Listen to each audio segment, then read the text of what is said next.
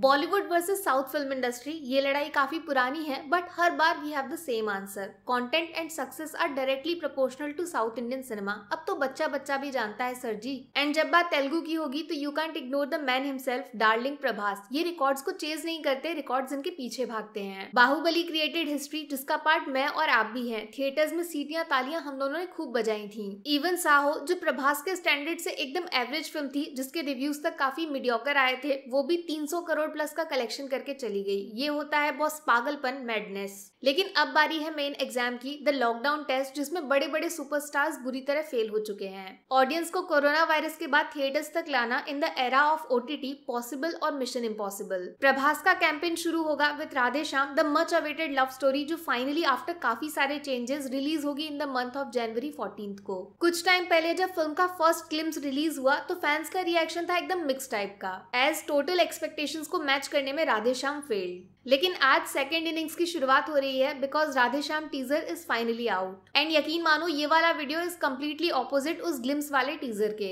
वहाँ थीम थी love and romance more of a light hearted happy story लेकिन in this teaser कहानी एकदम बदल गई है. Prabhas is a super human ये डायरेक्ट मैसेज दिया गया है थ्रू राधेश्याम का टीजर वो सब कुछ जानते हैं, आगे क्या होगा, कैसे होगा, किसके साथ होगा. Don't get confuse Vikram Aditya जो प्रभास का कैरेक्टर है ही इज़ अ पामिस्ट हाँ जी, वो जो हाथ देखकर पूरा डेस्टिनी बता सकते हैं एंड समटाइम्स उसको चेंज भी कर सकते हैं। लेकिन सबसे इंटरेस्टिंग चीज़ है the ending of the teaser वहाँ दिखाई देता है ब्लड इवन टाइटेनिक जैसी ट्रेजिडी की फीलिंग भी आती है and then the calendar date is changed देखो, एक बात तो कंफर्म है कि फ़िल्म के सेंटर पे दो चीज़ें होने वाली हैं। एक लव स्टोरी दूसरा टाइम ट्रेवल घड़ी की सुई को आगे पीछे घुमाने के लिए Prabhas will do anything a sci-fi love story interesting boss experimental cinema मतलब कुछ नया ट्राई करना बहुत बड़ा रिस्क होता है एंड प्रभास को इस बार फैंस का सपोर्ट भी बहुत ज़्यादा चाहिए। बिकॉज़ एक बार साहू हैज़ फेल्ड तो प्रेशर राधेश्याम पे वैसे भी डबल है। But the good thing is teaser is full of काफ़ी सारे पॉजिटिव एक तो खतरनाक बैकग्राउंड म्यूज़िक जो मिस्ट्री सस्पेंस एंड थ्रिल को डायरेक्ट कॉम्प्लीमेंट कर रहा है। देन जिस तरीके से टीजर को एडिट किया गया है, ऐसा लगता है सब कुछ देख भी लिया, फिर भी कुछ समझ नहीं आया। मेन स्टोरी लाइन उसको एकदम छुपा के रखा गया है without revealing even a single detail but दिक्कत सिर्फ़ एक है, जो फ़िल्म का इम्पैक्ट थोड़ा ठंडा कर रही है। एक्चुअली राधे श्याम हिंदी एंड तेलुगु में ज्वाइंटली शूट हुई है। मतलब हिंदी डबिंग जैसा फ़िल्म में कुछ नहीं मिलेगा। इट विल बी प्रभास खुद की आवाज़ में। टीजर तो इंग्लिश में है एंड प्रभास की voice is doing wonders but जिन लोगों ने साहो देखी है, वो समझ गए होंगे दैट डार्लिंग प्रभास की Hindi is not that strong जिसकी वजह से कुछ डायलॉग्स में much needed emotions and feeling सही से डिलीवर नहीं होती। ये चीज़ राधे श्याम को भी अफेक्ट कर सकती है। वैसे बता दू राधे श्याम कोई मामूली फ़िल्म बिल्कुल नहीं है। It is one of the सबसे महँगी film ever made in India with the budget of 350 crore